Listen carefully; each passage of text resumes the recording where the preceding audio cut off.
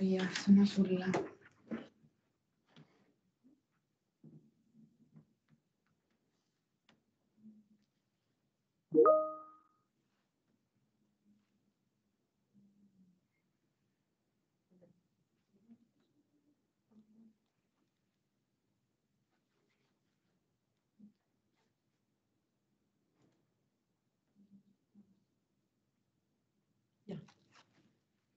nii, kõigepealt meeldetuletuseks, et ähm, kuidas see tänane äh, seminar on plaanitud.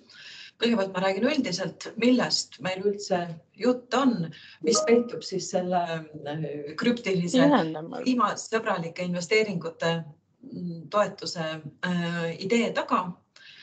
Ja nagu juba, juba etteruttavalt mainisin, et teen ka ülevaate olemasolevatest toetustest esiteks, et, et äh, lihtsalt meelde tuletada, et äh, mis on olemas. Ühest küljest noh, nagu näha, meil huvilisi oli väga palju, ligi sada nelikümmend äh, registreerunud, et ühest küljest on ilmselt see, seda, seda, see, see info on alati piisavalt segane ja, ja seda, seda teemat tullakse hea meelega kuulama. teisalt nende toetuste taustal on oluline aru saada, et mis siis veel puudu on, et ei ole ju mõtet teha, teha teisi samasuguseid. ja siis liigume edasi konkreetsemaks, mis võiks siis olla selle äh, investeeringutoetuse äh, fookus.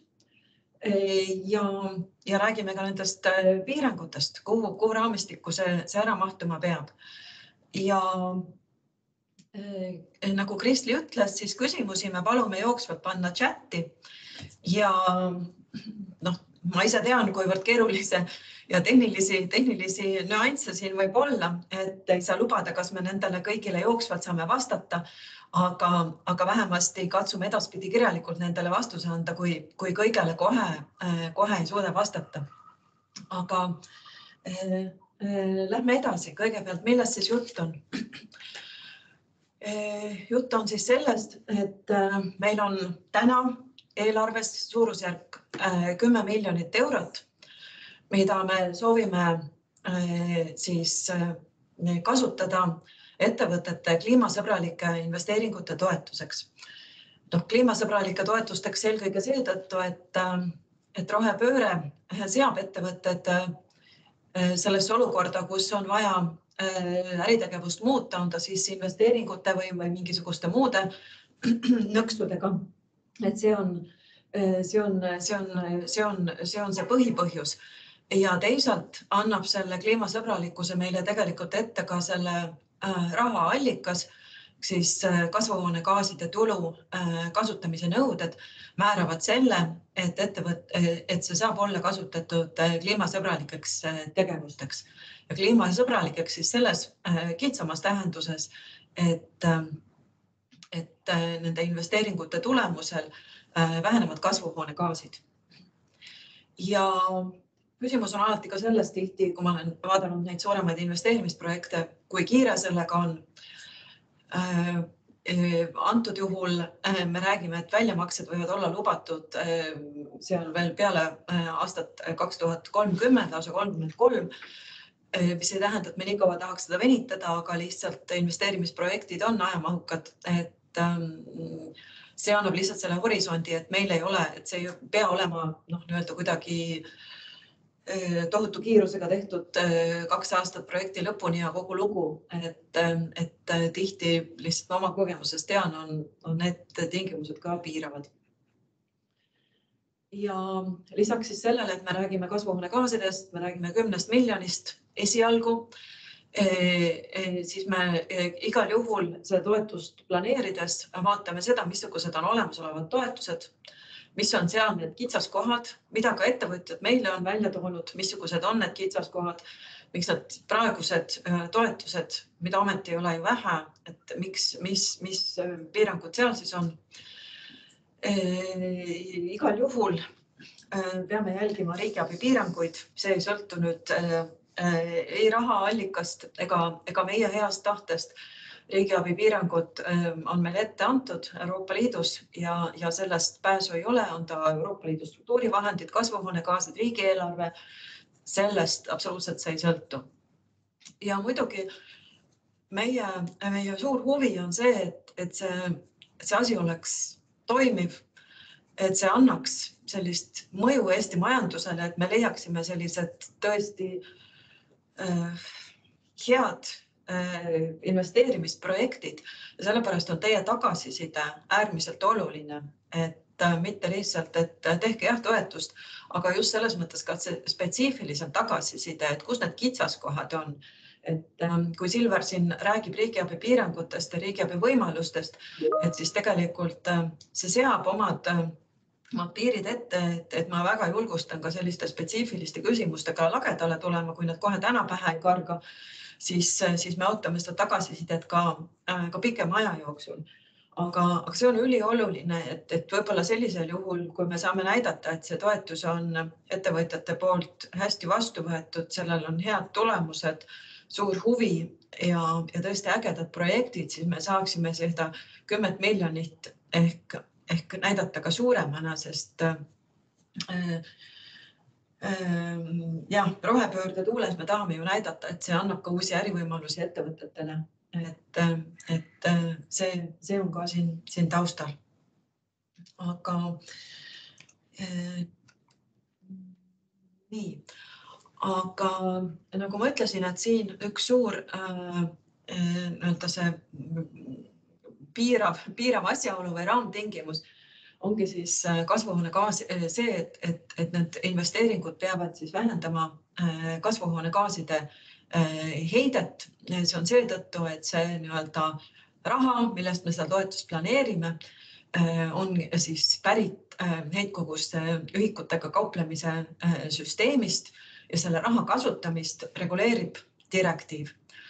Ja et asi oleks täiesti selge, siis ma tõin selle eh, kirjakoha sellest direktiivist eh, ka välja, eh, millele baseerub siis see meie toetus, siis me kohustume nii-öelda kasutama seda raha järgmistel eesmärkidel. esiteks siis kasvuhoonegaaside heitkoguste vähendamine. nüüd on niisugune helehall osa, mis ei ole antud juhul asjakohane aga siis äh, kliimamuutuste mõjudega kohanemine, heitkoguste vähendamise mõjudega kohanemise alase teadus-arendustegevuse ja näitusprojektide rahastamine. ja lisaks siis on siin veel alla joonitud, et, ähm, et, et nad võiksid nii-öelda panustada ka siis Euroopa äh, energiatehnoloogiate äh, plaani ja energiatehnoloogia platvormide nii-öelda raamesse mahtuda, et, et need ei ole nii-öelda piiravad tingimused, need on võimalused, need on lihtsalt need nii-öelda tehnoloogiad, mis Euroopa Liidus on, on, on peetud äh, nii-öelda äh, oluliseks.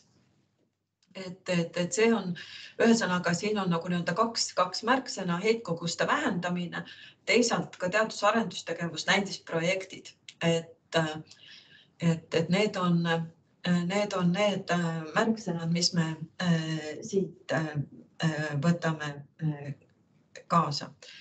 ja kui me räägimegi võimalikest hindamiskriteeriumitest, siis tegelikult äh, noh, need ma juba mõnes mõttes juba lugesin ette, et ühest küljest kasvuhoonegaaside vähendamine, teisest küljest majanduslik mõju ja majanduslik mõju siis koondaks erinevaid aspekte.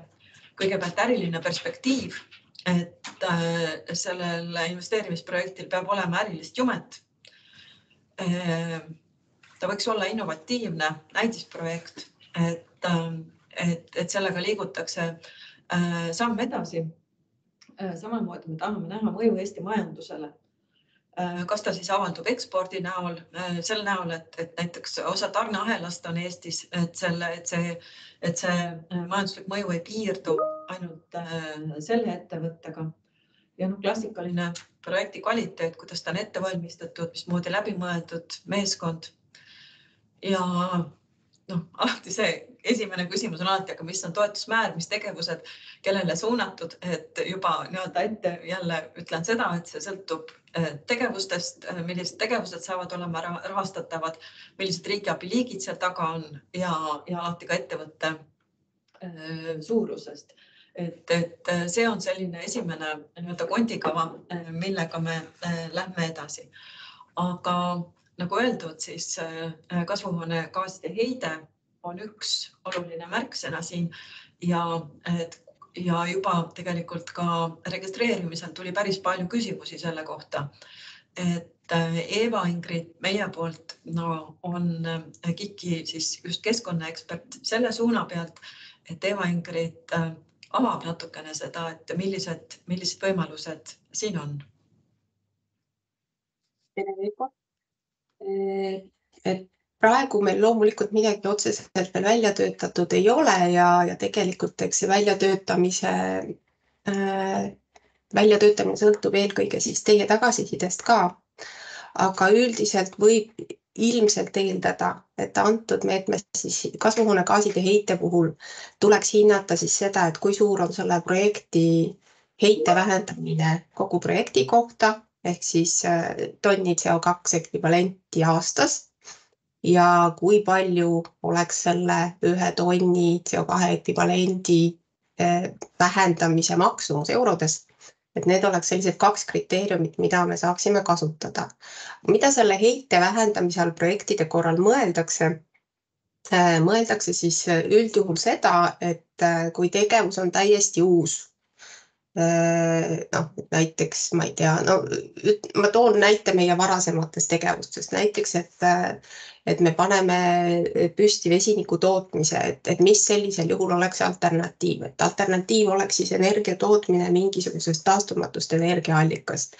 olenevalt selle vesiniku kasutusotstarbest, et kas, kui ta on transpordisektoris, siis on seal tüüpiline on diisli eriheide võrdluseks võtta sama, sama koguse transporditegevuse toetamiseks näiteks kui ta on elektri tootmiseks, siis eriheide tuleneb siis sellest elektri eriheite määrast, et, et noh, nad on erinevad. olenevalt sellest, mis see lõppkasutusvaldkond on. aga jah, et põhimõte on siis selline, et sellele tegevusele, mida te tahate teha, mis peaks siis soodustama nii-öelda taastuvenergia kasutuselevõttu, energiasäästu või mingeid muid selliseid kasvuhoonegaaside heidet vähendavaid äh, tegevusi toetama et nende puhul siis äh, aluseks võetakse siis kõigepealt see, see heide, mis, äh, mis teie projekti käigus ikkagi tekib, sest midagi paratamatult natuke ikka tekib. ja võrreldakse seda siis selle heitega, mis tekiks juhul, kui teie projekti ellu ei viidaks ja sama tegevus äh, tehtaks traditsioonilisel viisil ehk siis kasutades taastumatuid energiaallikaid. Ja nende vahest siis arvutatakse see tulemus, et noh, palju see heite vähenemine aastas on. Ja, ja siis see eurotonn, eurot tonni kohta nii-öelda eh, hinnang tuleb siis sellest, et kui suur on see projekti eh,, mis ta siis on, CAPEX, kapitali, kapitalikulu ja, ja kui palju tonne te näiteks viie aasta jooksul või kümne aasta jooksul, see on jälle kokkuleppe küsimus, suudate vältida ja siis eh, vastavalt sellele siis see projekti kulu jaotatakse nende tonnide vahel ära ja saadakse siis ühe tonni hind nii-öelda kätte. ja seda tavaliselt arvutatakse toetuse kohta, mitte projekti kogukulu kohta, kuna noh, meie, meie vaatest oluline on just see, et kui palju läheb sinna siis seda toetuse raha. aga see on jällegi siin kokkuleppimise küsimus. nüüd, kui nüüd seda kasvuhoonegaaside heidet ähm, Äh, arvutama peab, siis küsimus on, et kuidas seda teha. ja üldjuhul, äh, kui meil on olnud sellised suhteliselt kitsad valdkonnad, mida toeta, siis me oleme ise andnud äh, arvutusmudelid ette sellepärast, et lihtsustada taotlemist, et taotleja noh, sisestab sinna ainult need andmed, mis, mis tal projektiga seoses nagunii infona on vajalik ja, ja mida ta nagunii peab teadma. kasvuhoonegaaside arvutamine, heite arvutamine toimub automaatselt siis selle mudeli poolt. kui nüüd meil läheb see toetus seekord väga laialivalguvaks ja me ei tea ette, millised need toetus valdkonnad täpselt on, siis, siis võib juhtuda, et seda mudelit nagu ette anda on väga keeruline aga me võime igal juhul äh, läbi kaaluda selle variandi, et kui see noh, toetusvaldkonnas need tegevused on siis selgunud, et siis KIK omalt poolt aitab äh, äh, seda mudelit koostada hiljem, et nende taotlejatel, kes siis taotlema tulevad. ühesõnaga taotlusprotsessi käigus et seda võib kaaluda, sest et noh, igal juhul see heite hindamine on keeruline ja, ja ka kulukas, juhul kui seda nagu väga põhjalikult teha. et sellepärast tasub seda kaaluda, et kuidas seda siin siis täpsemalt teha.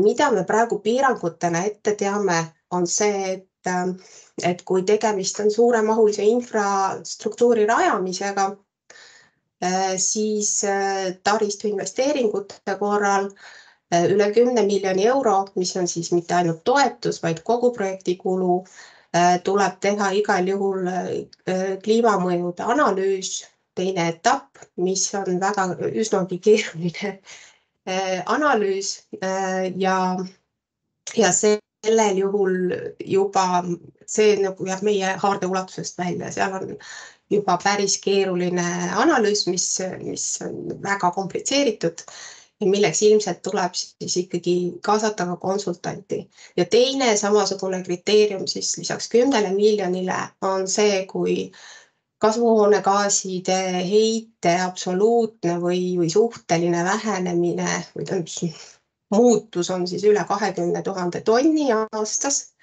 et ka sellisel juhul on vaja sedasama kliimamõjude analüüsi teha. nii, ma arvan, et ma jõudsingi oma jutuga praegu lõpuni. aga jah, et kui, kui on lihtsamad võimalused, siis üks, üks viis seda kasvuhoonegaaside jalajälge hinnata on siis see ette antud Kliimaministeeriumi organisatsioonide kasvuhoone, kasvuhoonegaaside heite jalajälje mudel. Äh, aga seal ei ole muidugi väga spetsiifilisi eriheiteid toodud, nii et kui teil on mingi väga spetsiifiline äh, tootmisvaldkond, siis äh, need eriheited ikkagi peab kuskilt nii-öelda juurde uurima siis sinna. jah, aga sellest saame tulevikus ilmselt täpsemalt rääkida. aitäh mm. -hmm aitäh, Eva Ingrid, ma kiiresti öö, ütlen vahele paar küsimust, mis on tekkinud et lihtsalt kuna see teema siinkohal äh, läheb edasi teistest äh, nurkadest, siis äh, on küsimus, et millised skoobid lähevad arvesse esimene, teine, kolmas selle CO2 osas? Ilmselt ikkagi lähevadki esimene, teine, kolmas arvesse, aga projektipõhiselt ehk siis mitte ettevõttepõhiselt, vaid just nimelt selle konkreetse tegevuse põhiselt et kaasaegne hindamine jah, on selline, et, et Scovid üks, kaks, kolm tuleb ikkagi vastavalt tegevusele ära hinnata. Nii. aitäh. Ja teine küsimus puudutab siin sellist üldisemat äh, raamis, raamistikku ja see on, et äh, kas üle kümne miljoni euro suurused projektid jääksid hetkel kõrvale? Äh, vastus on pigem ei, nad ei jää kõrvale.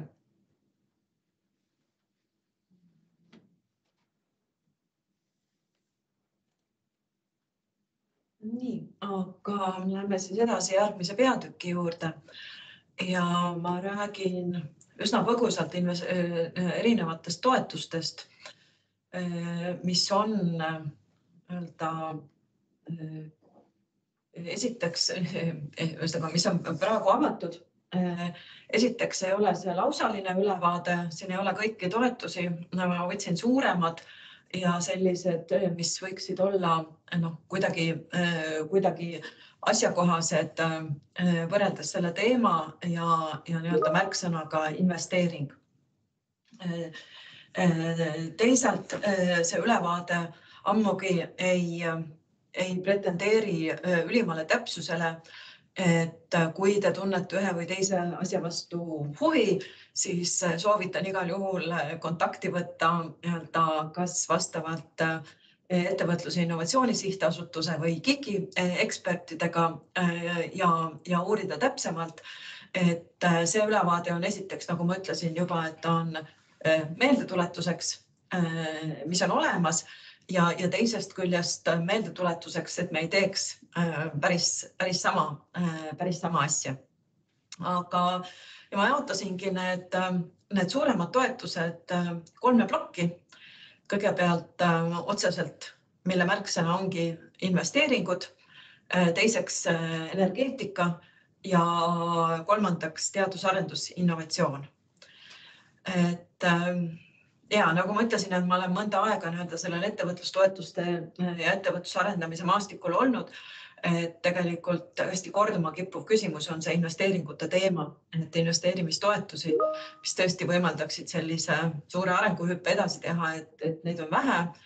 eks neid põhjuseid selle taustal on ka mitmeid, ühest küljest riigiabi piiravad tingimused, teisest küljest tihti nii-öelda selline noh, investeering ongi nii-öelda tasuv, et seal ei ole sellist äh, riski, aga, aga see selleks siiski on äh, siis mõned äh, sellised suuremad investeerimistoetused, et kõigepealt suurinvestori toetus, mida pakub ettevõtluse innovatsiooni sihtasutus.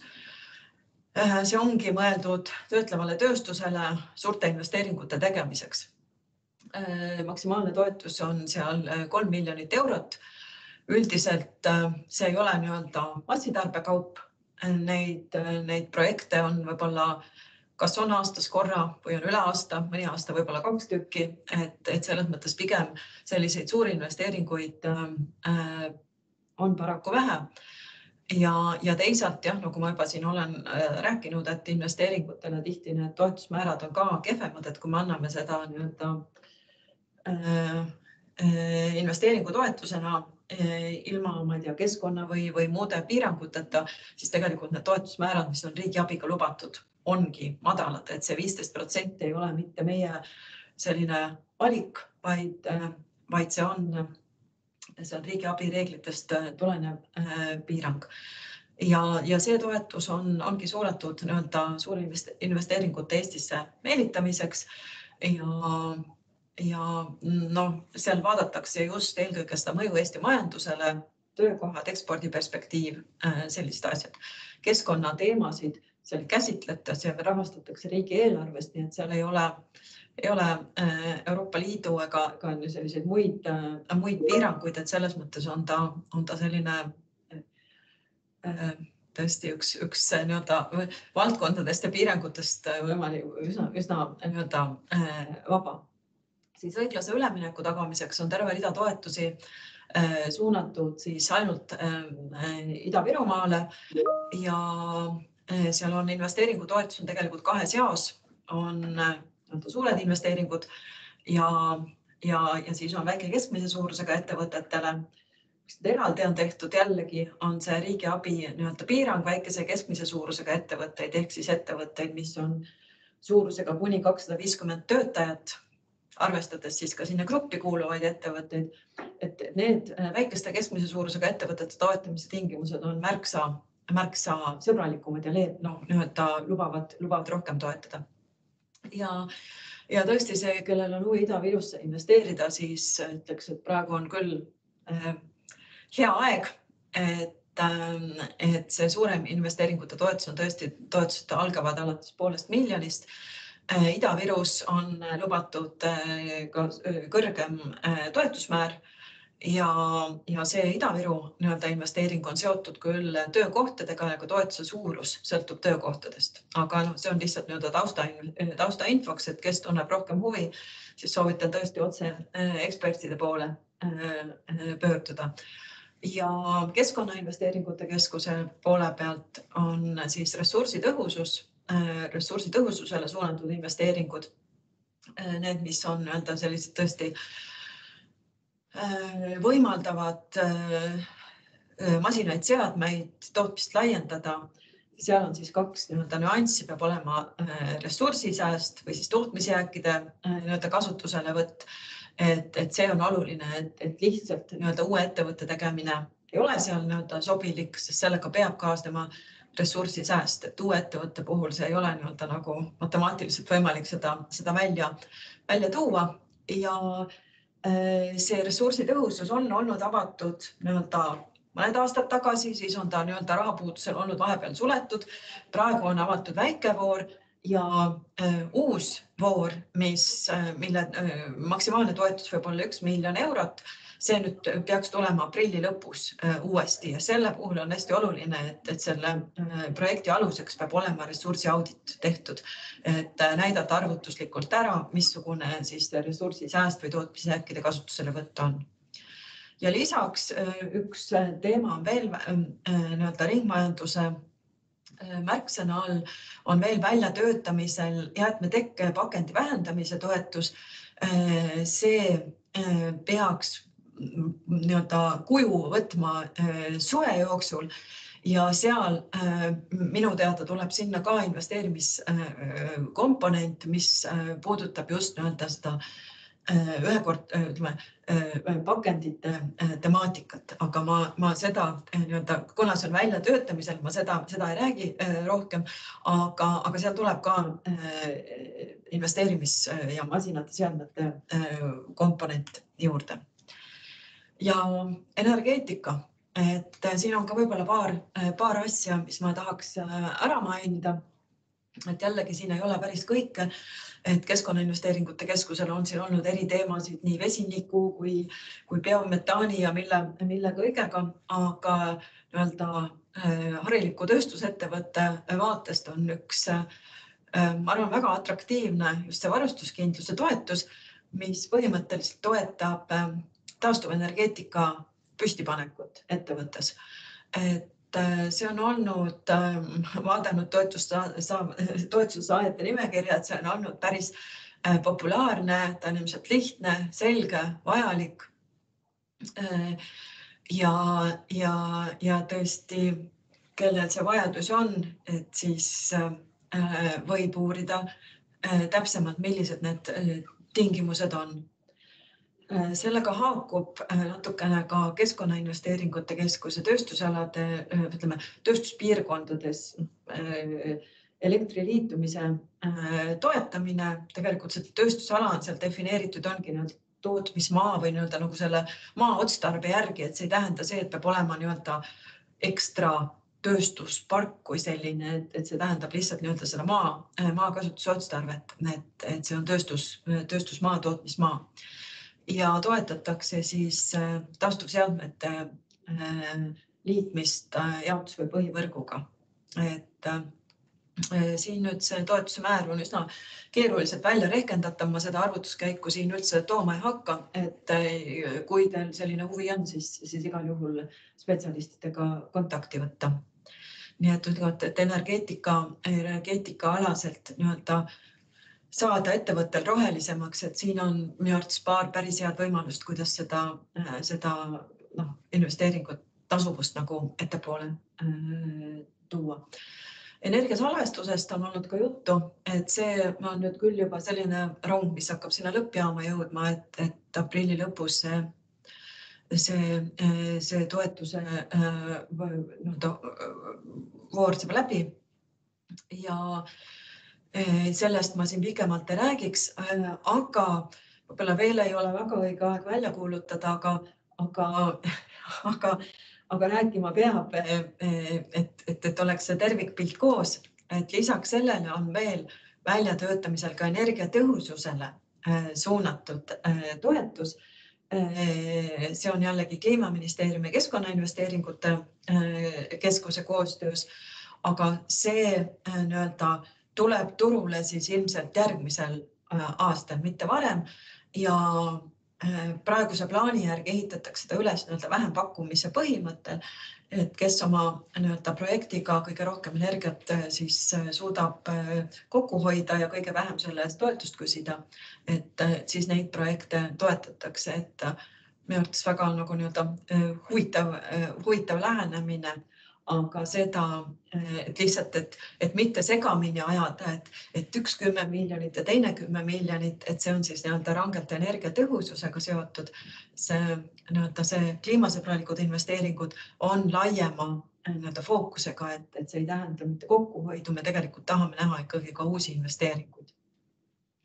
nii ja äh, lähme edasi äh,. teadus-arendustegevuse innovatsioonitoetused et tegelikult ähm, äh, jah, mis, mis kõikide nende nii-öelda investeeringutoetuse, energeetikatoetuse ja ka selle äh, grupi juurde tegelikult ma tahtsin juba varem öelda, on see, et tegelikult nad ju kõik võimaldavad teha nii-öelda neid noh, äh, maakeeli siis roheinvesteeringuid või rohepööret toetavad investeeringuid, et, et nad ei ole lihtsalt, need kõik ei ole nii-öelda nagu selle nii-öelda kriteeriumi, et seda kriteeriumit eraldi nagu ei hinnata, aga noh, lihtsalt ütleme, kui vaadata siin rakendusuuringute toetust, siis sealt on väga palju tehtud nii-öelda selliseid projekte, mis, mis kvalifitseeruvad, mis on igal juhul nii-öelda toetavad just seda roheüleminekut aga kirjeldan siis neid ka siin lühidalt. jällegi on Ida-Viru siin erikohtlemise all, et Ida-Virus siis on teadus-arendus, ütleme piloottaristu ettevõtte nii-öelda piloottootmise käivitamiseks toetus, mis on jällegi päris helde, viis miljonit. toetusmäär jällegi sõltub sõltub tegevuste iseloomust, varieerub päris palju. seal on ka oluline klausel, et ei kahjusta oluliselt keskkonda, see printsiip on seal ka sees.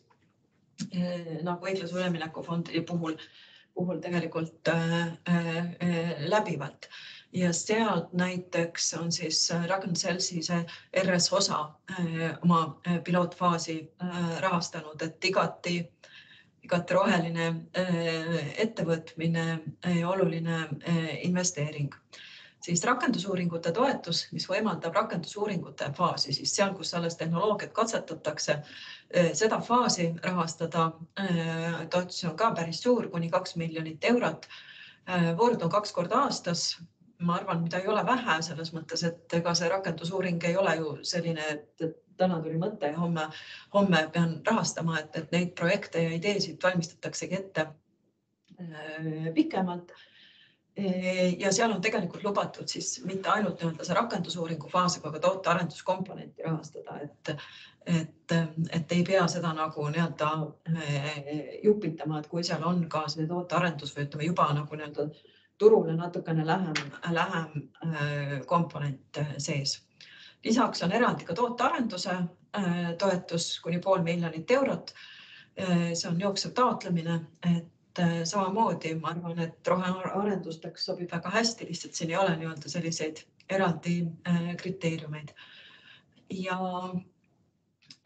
ka teostatavusuuring, mida me oleme ka siin nimetanud rakendusuuringute väiketoetuseks, mis on siis kuni, kuni sada viiskümmend tuhat eurot mis on jooksvalt avatud, millega saab teha siis teostatavusuuringuid, nii-öelda selliseid väiksemaid, väiksemaid juppe, on ta siis mingisuguse investeerimisprojekti või rakendusuuringu ettevalmistamiseks. et selles mõttes selliseid, et see on, see on, see on ka nagu jooksvalt võimalus. ja siin, kus mul on siis tärnikesed ära toodud Äh, seal rahastatakse projekte, seal on siis jällegi jällegi üks jällegi piirang. Ähm, äh, Eesti siis teadus-arendus, innovatsiooni ja ettevõtluse siis äh, fookusvaldkondades, milleks on siis digilahendused horisontaalselt siis kasutatav, mida kasutatakse siis erinevates majandussektorites, eluvaldkondades, tervisetehnoloogiad, kohalike ressursside väärindamine, energialahendused. et noh, need on ainult sellised märksõnad, et, et nad on nii-öelda laiemalt, laiemalt äh, defineeritud, et, et see on, see on äh, ka nii-öelda oluline teada, aga, aga nagu ma siin olen juba mitu korda öelnud, et igal juhul, kui teid huvitab, siis, siis tuleb võtta äh, kontakti nii-öelda nende asutuste ekspertidega. ja kõige selle taustal kuidas me siis praegu oleme siin mõtteid seadnud. Me näeme, et, et selle planeeritava toetuse fookuses äh, võiks olla investeeringud tootmisseadmetesse. Äh, ehk siis nii-öelda see võimaldab teha ka, ka uusi investeeringuid. aga nagu ma juba eespool nagu rääkisin sellest, et riigiabi piirangud meil on, Silver varsti räägib nendest täpsemalt et see investeeringud tootmisseadmetesse, seal ongi see suur aga on esiteks see, et suurettevõte peab tegema nii-öelda tootmise mitmekesistamist või, või, või liikuma uude tegevusalasse. teisalt on ta äh, äh, nii-öelda toetusmäära poolest üsna tagasihoidlik ja sellepärast ütleme, aga nii-öelda äh, palju nii-öelda äh, heldemad võimalused on äh, Äh, keskkonnaalasel riigiabil. Äh, teisalt on nad palju keerulisemad nad sõltuvad väga äh, nii-öelda spetsiifiliselt kasutatavast tehnoloogiast. Nad nii-öelda on keerulisemad, sest et äh, nii-öelda toetuse planeerimisel, äh, projekti planeerimisel peab tõesti arvestama selle tehnoloogiaga kas seal on fossiil kuskil, mõni fossiilmolekul lipsab kuskilt läbi või mitte et ühest küljest nad on palju keerulisemad, need keskkonnaalased riigiabi võimalused, teisest küljest on nad toetusmäärade suhtes heldemad. Sellepärast me praegu oleme välja pakkunudki nii, et see põhifookus oleks investeeringutel tootmisseadmetesse, uute investeeringute äh, toomisel äh,. teisalt me kaaluksime, kas siis kaasnevate või lisategevustena äh, ka nii-öelda investeeringuid keskkonnakaitsesse mis tähendab siis seda, et, et see projekti käigus võib olla investeeringuid, mis ületavad nii-öelda keskkonnakaitse sellist tavaregulatsiooni ja et sellisel juhul seda komponenti oleks võimalik suuremalt toetada. samamoodi energiatõhususse, et noh, ükski investeerimisprojekt ei saa meil nii-öelda valmida ilma, et, et seal paraku energiat kasutatakse, et sellepärast et energialahendus peab selle, selle ettevõttel nagunii olemas olema või on seda vaja uuendada, et siis energiatõhusus ja taastuv äh, energia oleksid ka nii-öelda kaasnevate tegevustena rahastatavad ja see samamoodi siis äh, kliimamuutustega mõjudega kohanemine võib tulla kõne alla.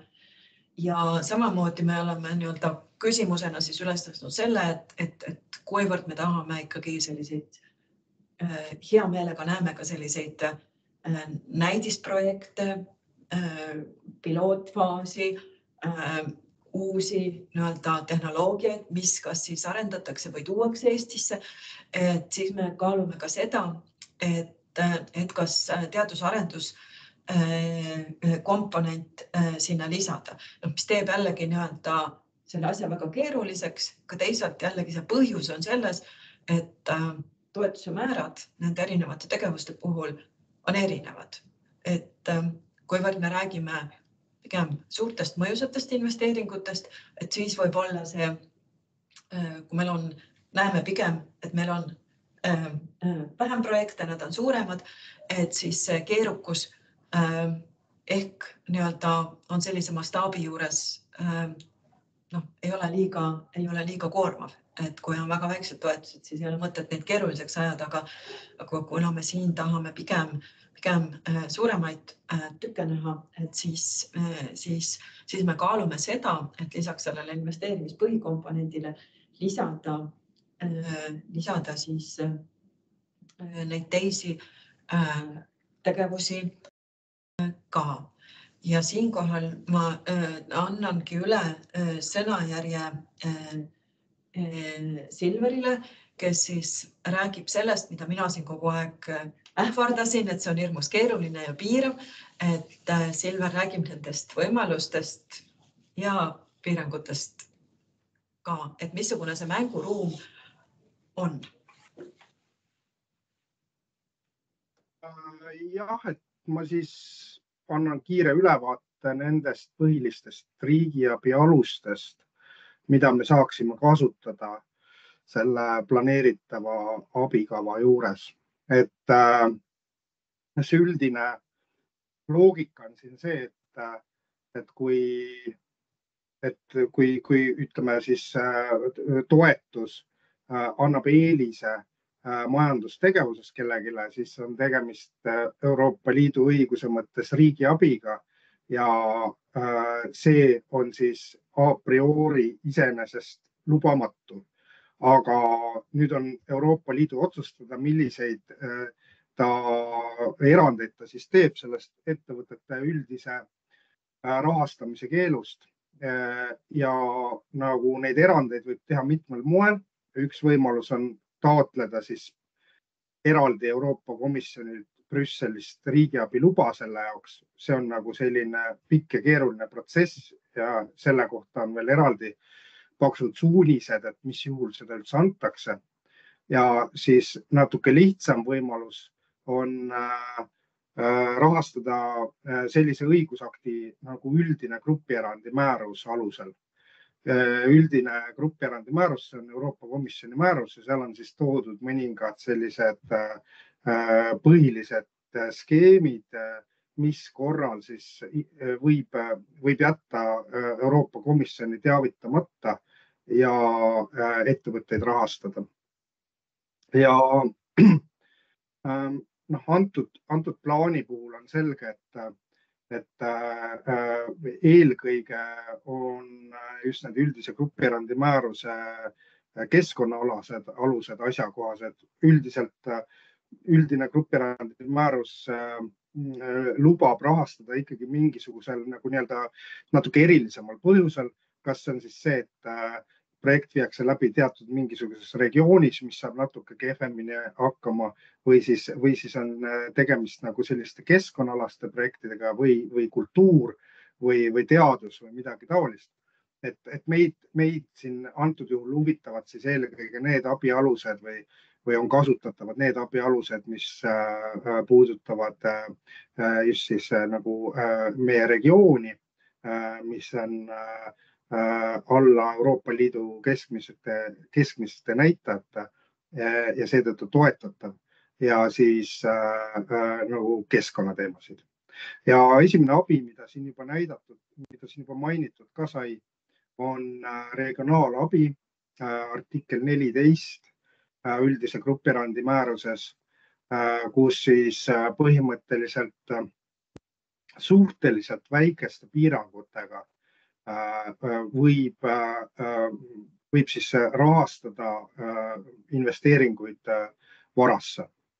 Ja, ja neid ja selleks põhipiiranguks siin, et sellised keskkonnaalased piirangud siin nagu üldse ei ole, aga selliseks põhipiiranguks on siis see, et tegemist peab olema alginvesteeringuga sellesama grupirandi määruse mõistes, alginvesteeringu mõiste on, on Mm, grupierandi määruse artikkel äh, kahes. Ja äh, see siis peab olema, siin peab olema siis tegemist äh, ühega nendest neljast punktist, mida te näete siin slaidil, et, et kas siis tootmisvõimsuse suurendamine, toodangu mitmekesistamine, tootmise täielik ümberkorraldamine, uue ettevõtte rajamine, et noh, meie praktikas seni võib-olla tulenevalt nende meetmete spetsiifikast, mida KIK on, äh, kus KIK on sedasama regionaalabi kasutanud, et, äh, et meil on nagu põhiliselt ettevõtted tulnud selle tootmisvõimsuse suurendamisega. Ja nagu seejuures noh, investeering peab küll olema otseselt väga selgelt seotud selle, äh, selle alusega, aga siin ei ole piirangut selles osas, et kui palju see tootmisvõimsus suurenema peab. Äh, ehk siis see suurenemine ei pea olema ka midagi sellist äh, väga põrutavat. Äh, aga oluline piirang on suurettevõtjatele, mis võib-olla, kes on sinna taotlenud enne kahe, kahe tuhande kahekümne esimest aastat äh,, äh, mäletab, et sellist piirangut ei olnud, aga, aga, aga siis muutus Eesti asend regionaalabi kaardil ja, ja, ja regionaalabi määrad, äh, seda tegi komisjon ja regionaalabi määrad vähenesid ja tuli siis ka eraldi piirang suurettevõtjatele.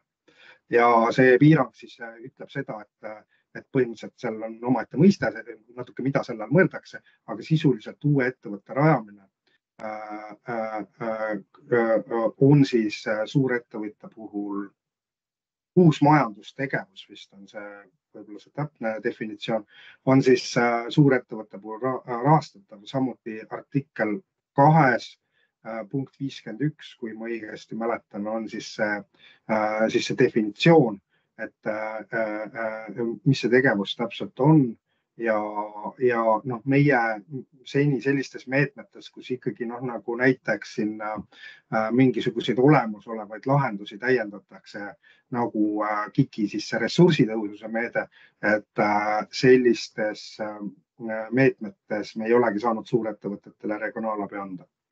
aga äh, määrad on siis, kui siis, kui siis on see alginvesteeringu piirang täidetud, siis suurettevõttele kakskümmend protsenti, keskmisele kolmkümmend, väikesele nelikümmend.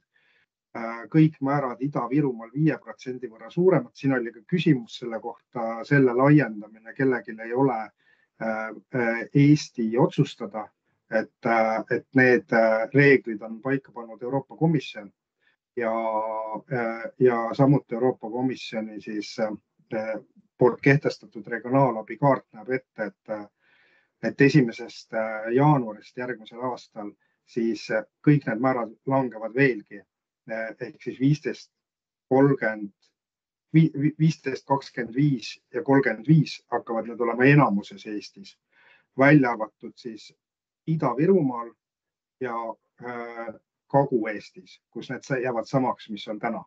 et äh,, et see tähendab, et siis Ida-Virumaa ja, ja, ja, ja ülejäänud Eesti erinevus muutub juba kümneprotsendiliseks, et näiteks kui kui, äh, kui kuskil teises kohas toimuv projekt äh, on väikeettevõttele rahastatav kolmkümmend viis protsenti, siis Ida-Virumaal nelikümmend viis protsenti. aga läheks nüüd järgmise riigiabi aluse juurde. et nüüd, nüüd siis need, nagu Maria ka viitas, et meil on siin nagu erinevad sellised keskkonnaalased alused, kus äh, rahastatavad määrad on paremad aga, aga kus tegelikult siis nagu ähm, on, on nagu keerulisem neid rakendada. ja äh, noh, täna me ju ei ole veel lõpuni otsustanud nagu ja, ja me, me, me kogumegi seda tagasisidet, et, et millised hakkavad täpselt need rahastatavad tegevused olema ja sellest tulenevalt ka, millised hakkavad äh, olema need äh, grupierandi määruse alused, mida on üldse noh, nagu mõtet kasutada aga, aga me kaalume võimalikult äh, laia valikut nendest ja, ja üks võimalus on siis abikeskkonna kaitseks artikkel kolmkümmend kuus. et äh, määrad on tunduvalt äh, paremad, kui olid regionaalabi puhul, suurettevõttele nelikümmend viis, keskmisele viiskümmend viis ja äh, väikesele kuuskümmend viis. Äh, ja ja lisaks siis sellele ähm, äh, on, on siinsamas äh, tunduvalt piiravamad meie praktikas tegelikult tunduvalt piiravamad nõuded, kui on regionaalabi puhul, sellepärast et jah, regionaalabi puhul peab olema see alginvesteeringu mõiste täidetud, aga, aga see on enamikel enamike projektide puhul ikkagi suhteliselt lihtne ja, ja teostatav, siis siin artikkel kolmekümne kuue puhul äh, äh, tuleb esiteks äh, äh, tõestada, et äh, te, te, tehtavad kulud on otseselt keskkonnakaitseks. ja juhul, kui nagu see laiem eesmärk on midagi muud, näiteks ütleme siin vahetatakse mingisugust seadet millel on siiski tegelikult noh, nagu selline tootmisalane eesmärk äh, või, või, või energia tootmisalane eesmärk või, või mis iganes. sel, sellisel juhul nagu on rahastatav ehk siis see abikõlblik osa, millest omakorda veel siis võetakse see, see protsent, mis siin slaidil toodud on, on, on, on see abikõlblik osa ainult see, mille võrra see keskkonnakaitseks tehtav investeering on kallim Äh, võrreldavast investeeringust, mis, äh, mis ei ole siis nagu keskkonnasõbralik. et, äh, et loomulikult see võrreldav investeering peaks siis olema sama siis võimsusega ja, ja noh, nagu igatpidi muus osas nagu võrreldav selle keskkonnasõbraliku investeeringuga. aga jah, et selline tehe tuleb seal teha ja, ja ainult nende vahe on abikõlblik.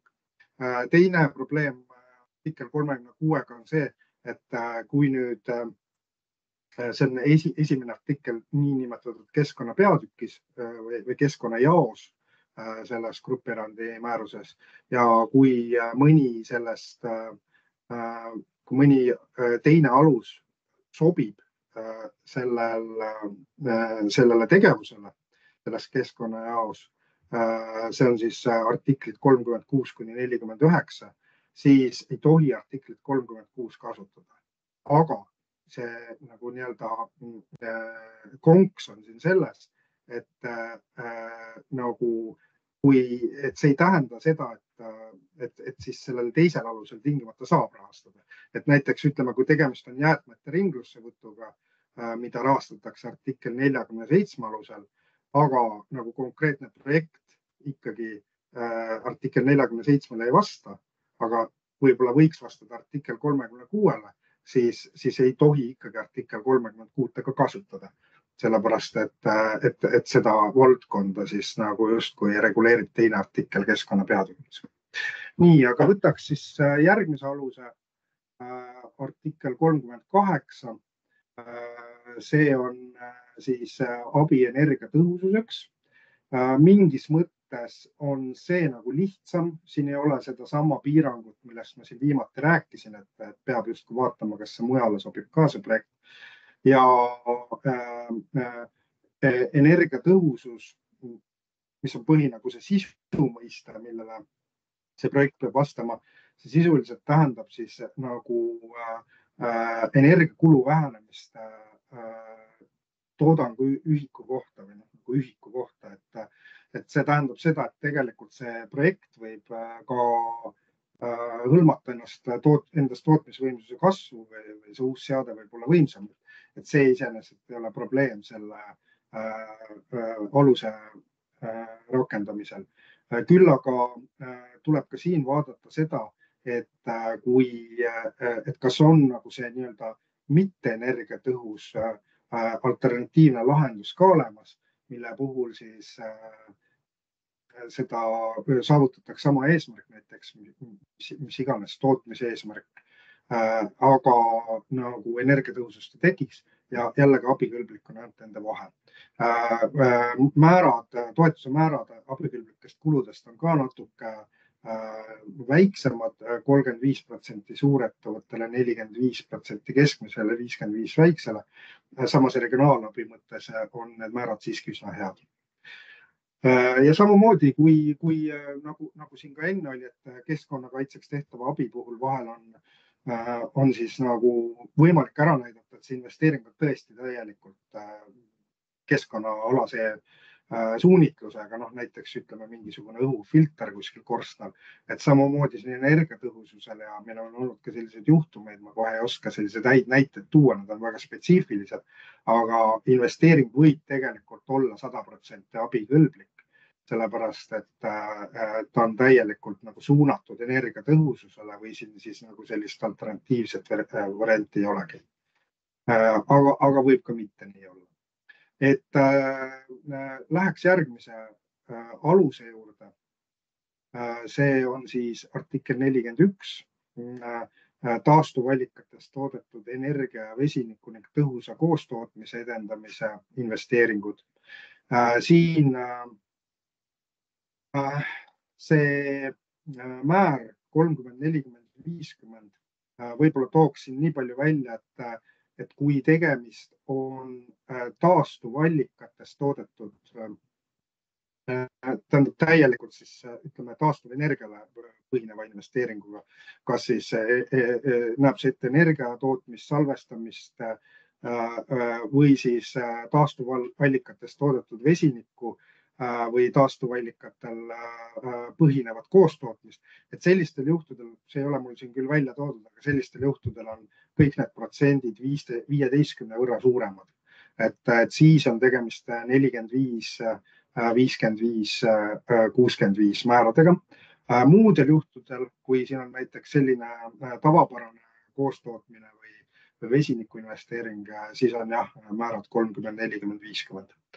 Äh, tänasel päeval me jah, rahastame näiteks äh, seda äh, taastuvallikatest toodetud energiasalvestusseadmeid sellel alusel. Läheks järgmise aluse juurde. see on siis äh, endine, endine nii-öelda jäätmete ringlussevõtu alus, mida nüüd siis Euroopa Komisjon äh, grupierandi määruse muudatusega on äh, laiendanud ka ressursi tõhususe tagamisele ja, ja, ja ringmajandusele ülemineku, üleminekule, mis, mis siis jätkuvalt hõlmab äh, kõiki ringlussevõtu ja korduskasutuse teemasid siin siis äh, on äh, samuti paar väga, ma ütleks, et võib-olla mingis mõttes on see veel kõige piiravam nendest alustest. et, äh, et esiteks samamoodi tuleb siis vaadata seda ressursitõhususe mõistet, tuleb vaadata äh, ringmajandusele ülemineku sisu ehk siis äh, seda, kas tegemist on siis ringlusse võtu äh, või, või, või, või korduskasutuse või äh,, või siis taaskasutusega. ja äh, tuleb vaadata äh,, aga selle kõrval tuleb järgida ka seda nõuet, et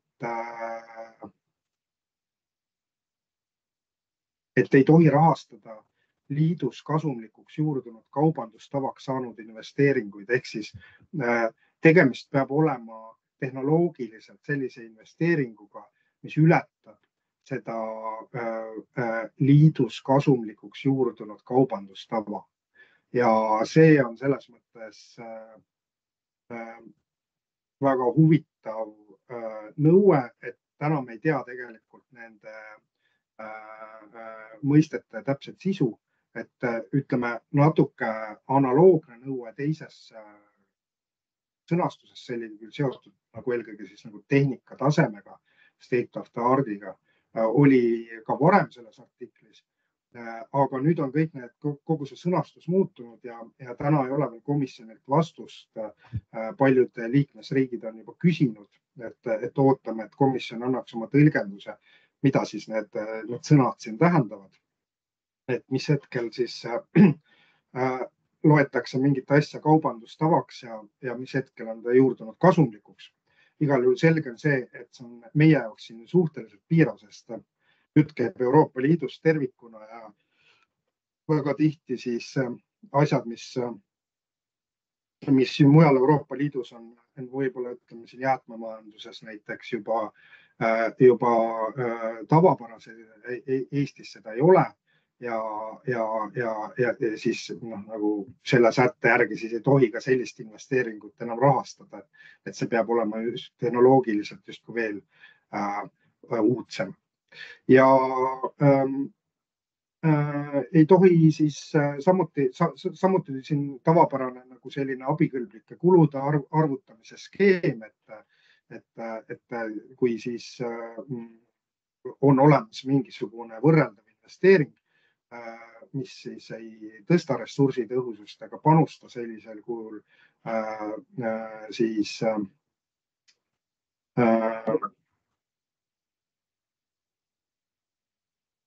jäätmete ringlusse võttu, siis, siis igal juhul on Äh, on, äh, tuleb neid kahte äh, võrrelda ja abikõlblik on ainult siis nende vahe. Ja toetatavad määrad abikõlblikest kuludest on siin siis samamoodi nagu keskkonnaabi puhul nelikümmend viis, viiskümmend viis, kuuskümmend viis. paari sõnaga selle kohta meil slaidi pole, aga, aga paari sõnaga räägin ka sellest tootearendusest, mida siin on kaalutud. ei oska öelda, kas äh, Äh, kas see nüüd tuleb või ei tule, või ei tule, aga, äh, aga see on siis äh, artikkel kaks kahekümne viies grupierandi määruses ja seal siis on need toetusmäärad kolmkümmend väikeettevõttele, neli, kolmkümmend suurettevõttele, nelikümmend keskmisele ja viiskümmend väikeettevõttele. ja noh, need on üsna põhjalikud definitsioonid, mida tootearendus tähendab Äh, mis on siis toodud ka sealsamas artikkel kakskümmend viis, kahekümne viies ja, ja, ja samuti artiklis kaks. aga äh,, aga mõte on siis selles, et tegemist ei ole kindlasti nagu sellise äh, mingisuguse sellise rutiinse arendusega äh, äh, kokkuvõtlikult äh,, vaid tegemist peab ikkagi olema noh, nagu uue toote väljaarendamisega. jah, see on hilisem faas selle puhul juba Äh, aga noh, sinna alla läheb äh, igasugune katsetamine, prototüüpide arendamine, mm, võib-olla mingisugune turul testimine ja nii edasi. et, äh, et see on ka üks asi, mis on nagu potentsiaalselt laual ja ega rohkem aluseid me täna väga ei näe, kui kellelgi on mingisuguseid ettepanekuid, mille, kuidas me saaksime veel äh, riigiabi nõudeid enda heaks tööle panna, siis, siis võib neid kindlasti välja tuua aga hetkel minu puhul, minu poolt kõik, aitäh. ja kui on küsimusi, siis, siis võib küsida. ja aitäh, Silver.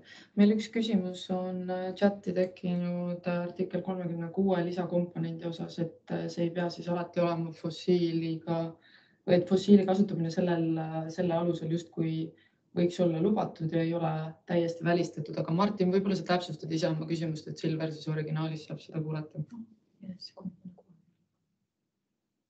Ja, ja tere, lihtsalt kui artiklist kolmkümmend kuus rääkisime, siis sealt, sealt see küsimus tuli, et, et kus, kus viimases puletis on et fossiilkütused, sealhulgas maagaas ei tohi raastatavas seadmes kasutada, et kui ma sätet ise loen, siis seal see sõnastus justkui viitab, et teatud tingimustel see nii-öelda add-on või, või, või, või lisakomponendi lisamine võiks olla ka võimalik, kui, kui seda fossiilkütust näiteks maagaasi endiselt kasutatakse.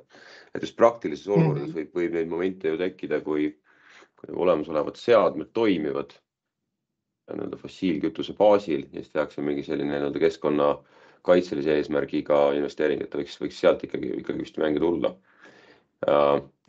ja teine, teine küsimus, mis on siin see, et on tegelikult, ma võib-olla küsin kohe otsa, vabandust, et siin mikrofoni pikaks ajaks haaran, on nii-öelda viide otseselt keskkonnakaitseks tehtud kuludele. et, et mille pealt siin see nii-öelda piiri tegemine jookseb, et noh, näiteks seesama õhupuhastusfiltri või, või muu filtri teema, sellel ju on teatavad sellised nii-öelda majanduslikud tagajärjed ka ehk et kus me, kus me ja mille alusel me seda vahet hakkame tõmbama, et mis on puhtalt keskkonnakaitseline mis on siis nii-öelda mingi muu otstarbeline, sest et, et noh, pigem ütleme iga, iga investeering, mis tehakse, ta võib omada ka nii-öelda sellist, sellist nii-öelda mõju, mõju, mõju nagu kasumireale lõppastmes. et, et, et, et see, see, see vahetegu ei pruugi, pruugi nii sada protsenti ilmlihtne ja selge olla. jah, ma olen nõus. no selle näite põhjal ma ise teeks seda vahet umbes kuidagi niimoodi, et, et see õhufilter, eks ju et äh, siin ei ole niivõrd küsimus selles, eks ju, kas äh,, kas nüüd ettevõttel hakkab äh, tänu selle õhufiltri paigaldamisele paremini minema või mitte, eks ju. aga siin on küsimus selles, et kas ta on oma olemuselt noh, nagu, et ütleme, et see tema keskkonna, mm, äh, see tema keskkonna säästev eesmärk, eks ju või, või ütleme, keskkonnakaitsesse panustav funktsioon ongi tema põhifunktsioon, hoolimata sellest, et kas ta nüüd äh, Äh, mõjub positiivselt äh, ka, äh, ka majandusele või mitte, eks ju, aga see keskkonnakaitseline funktsioon on tema põhifunktsioon selles mõttes, et ta, eks ju peab mingisuguseid teatud kahjulikke heitmeid kinni, eks ju, ja teda ei ole võimalik teistmoodi, noh, me ei saa paigaldada filtrit selliselt, et noh, ta, ta seda ei tee, eks ju, siis ta ei ole filter, eks et, et see, et sellepärast see, see ongi see näide nagu sellest äh, nii-öelda puhtalt keskkonnakaitselisest investeeringust. aga kui tegemist on mingisuguse nagu tootmisseadmega, äh, siis jah, tal on, eks ju, see keskkonnakaitseline aspekt seal võib-olla juures, eks ju, aga ilmselgelt see tema põhifunktsioon, see ei ole keskkonnakaitseline, me võime, siis seal on meil see võrdlusmoment olemas, eks ju, me võtame, me võtame teise seadme, äh, mis täidab seda põhifunktsiooni samamoodi aga keskkonnakaitselist elementi ei ole ja, ja, ja noh, et see, need, need, need on kaks gruppi suuresti, aga eks seal võib ilmselt mingeid piiripealseid olukordi, ma olen täiesti kindel, et need võib tekkida.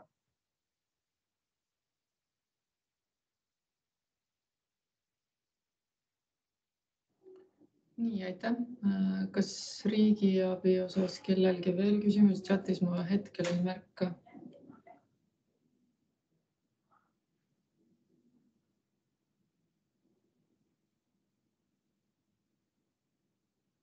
hetkel ei näi. Äh, loomulikult on ka VTA võimalus olemas alati ja VTA piirmäära nüüd ju ka tõsteti kolme aasta kohta, et, et selles mõttes ka, seda me ka ei välista, lihtsalt täna võtsime natukene keerulisemad teemad kui VTA siia arutelule. Äh, olgu, aga siis äh, annan lõpetuseks Mariale ja kui kellelgi tekib küsimusi, siis on oodatud väga. ja et arvan, et siinkohal võib kokku võtta, et täitsa uhke võib olla, et ma näen praegugi veel siit, et meil on üle kaheksakümne osaleja, et, et ma tõesti tänan väga kuulamast, aga see on ainult pool asja, et ma paluksin, et te tõesti analüüsite, mõtlete oma ettevõtete plaanide võimalike investeeringute peale, millel võiks olla siis seos äh, kasvuhoonegaaside vähendamisega. annate meile tagasisidet, esitate küsimusi. Et äh, noh, täitsa siiralt, ma arvan, et ainult ettevõtetega koos me saame sellest äh, toetusest sellise, mis, mis toimib ja töötab ja, ja, ja Eestit edasi viib. et ma palun teie tagasisidet noh, hiljemalt viieteistkümnendaks aprilliks. kirjutage küsimusi, kommentaare, võime ka täiendavalt nii-öelda kontakti võtta, täpsustada, kui midagi veel, veel segaseks, et ähm, et tõesti nagu noh, mul on tegelikult väga hea meel, et te kuulasite ära selle, selle, selle hästi spetsiifilise äh, riigiabi äh, selgituse. Äh, et, et selle pealt saab tekkida küsimusi, et, et, et mida ja mida ja kuidas, kuhu mahutada, et ega, ega rohkem ei olegi midagi, et, et me ootame teie, teie tagasisidet, võite selle saata minu äh, e-postile Maria Värton, et kliimaministeerium ja eks me siis äh, peame oma kolleegidega nõu, et, et, et kuidas me selle äh, toetuse püsti paneme. Ja, ja eraldi tänan oma keskkonnainvesteeringute kolleege Krislit, kes siin toetas selle ürituse püstipanekuga. Äh, Silver nagu vahvustav riigiabi ekspert ja Eva-Ingrid kasvuhoonegaaside poole pealt, et ähm, et see ei ole lihtne teekond, aga, aga lähme edasi. aitäh ja head päeva. aitäh kõigile. kena päeva jätku. aitäh. aitäh, nägemist